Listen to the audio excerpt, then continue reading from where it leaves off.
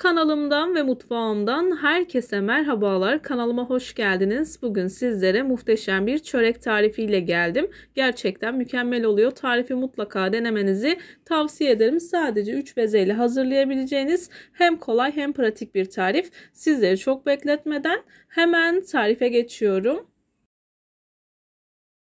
Tarifim için ilk olarak yoğurma kabıma yarım paket yaş mayayı ufaladıktan sonra yoğurma kabına aldım. Üzerine 1 yemek kaşığı kadar toz şeker, 1,5 bardak ılık su, 1,5 bardak ılık sütümü ekledikten sonra güzelce karıştırıyorum.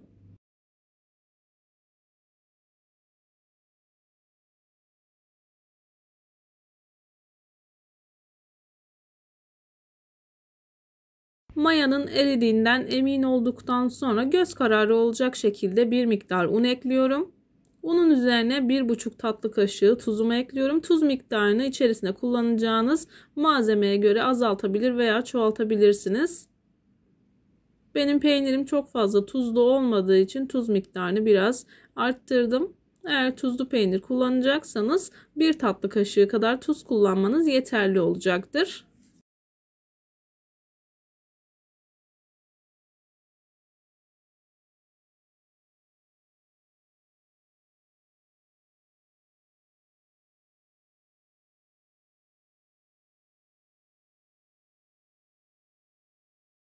Hamurum yoğunlaşıncaya kadar elimdeki spatula ile karıştırdım. Hamur yoğunlaştıktan sonra içerisindeki spatulayı çıkartıyorum. Elimle yoğurmaya devam ediyorum. Bu tarz tarifler yaparken dikkat etmeniz gereken en önemli noktalardan biri özlü ve güzel bir hamur yoğurmaktır. Azar azar un ilavesi yaparak hamuru yoğurmaya devam ediyorum.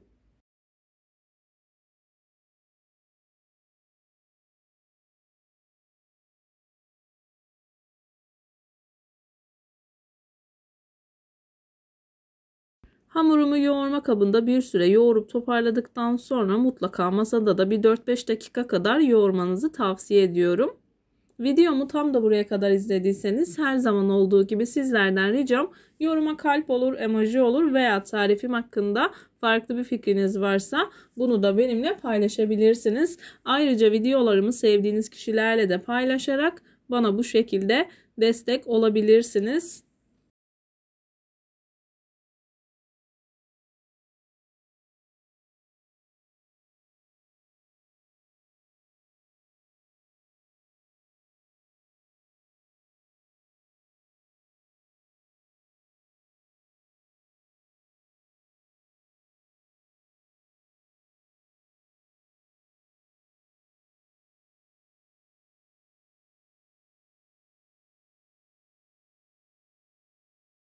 Hamuru masada özlü bir hal alıncaya kadar hamurumu yoğurdum. Hamurumu tekrardan yoğurma kabına alıyorum. Gördüğünüz gibi kesinlikle elime yapışmıyor fakat yumuşak bir hamur oldu. Üzerini kapatıp 1 saat kadar mayalandırdım. Mayalanan hamurun ilk etapta havasını alıyorum. Bu tarz mayalı hamurlarda eğer hamurun havasını almazsanız yaptığınız hamur işi tariflerinden maya tadı ve maya kokusu alırsınız.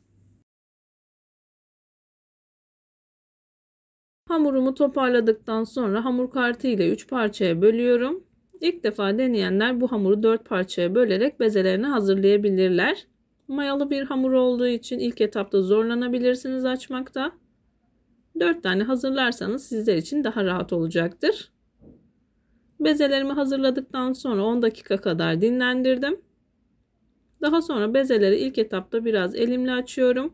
Daha sonra merdane ile daha sonra oklava ile devam ediyorum.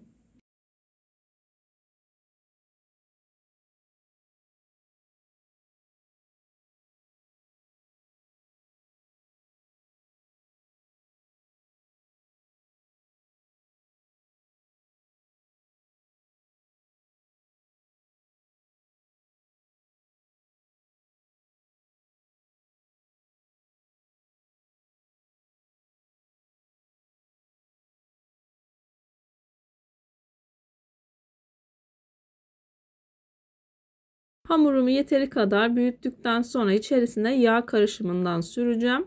Yağ karışımı için 150 gram kadar tereyağı veya margarini eritin. Üzerine bir çay bardağı sıvı yağını ekleyip güzelce karıştırdıktan sonra kullanabilirsiniz. Kullanacağınız yağ karışımının ılık olmasına dikkat edin. Yağı her yerine gelecek şekilde güzelce sürüyorum.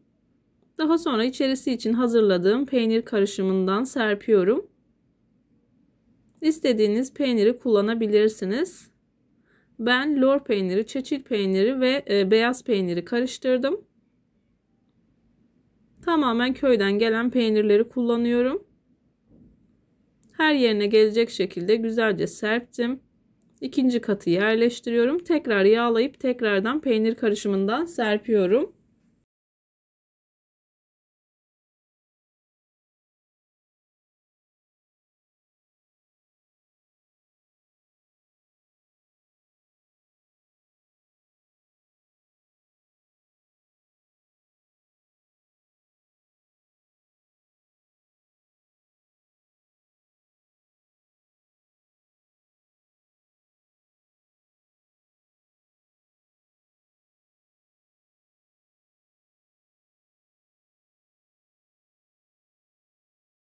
Videolarımda yapmış olduğum tariflerin elimden geldiği kadarıyla püf noktalarını vermeye çalışıyorum. Ama yine de aklınıza takılan herhangi bir şey olursa yorumlara yazarsanız gördüğüm zaman sizlere dönüş sağlarım. Yine aynı zamanda videonun altındaki açıklama kısmına malzeme listesini tam not olarak ekleyeceğim. Dilerseniz oradan da bakabilirsiniz. Bu işlemleri yaparken biraz hızlı davranmanız gerekiyor. Aksi takdirde hamur birbirine yapışabilir. Yağın her yerine değmesine dikkat edin.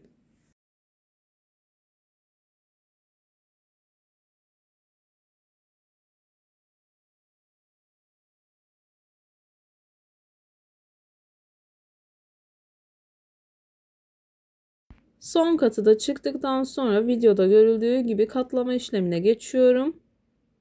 Katlama yaparken ben sıvı yağ sürdüm. Erittiğim tereyağı ve sıvı yağ karışımını bitirmiştim. O yüzden sıvı yağ ile devam ediyorum.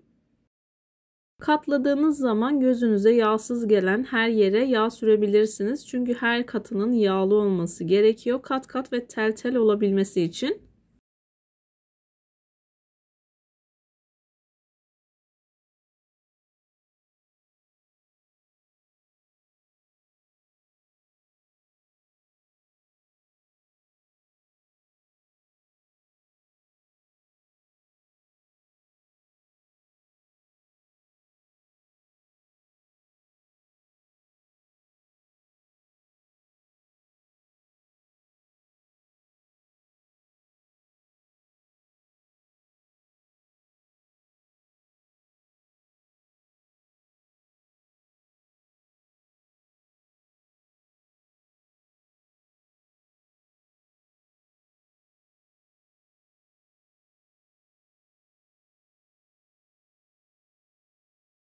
Katlama işlemini tamamladıktan sonra tepsiye yerleştiriyorum.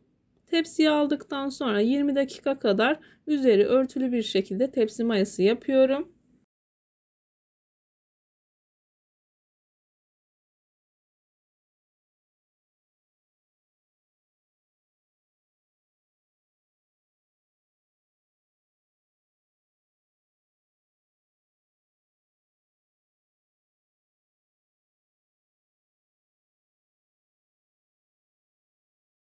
Hamurumu 20 dakika kadar dinlendirdim. 20 dakikanın sonunda elimle hamurumu yavaş yavaş büyütüyorum.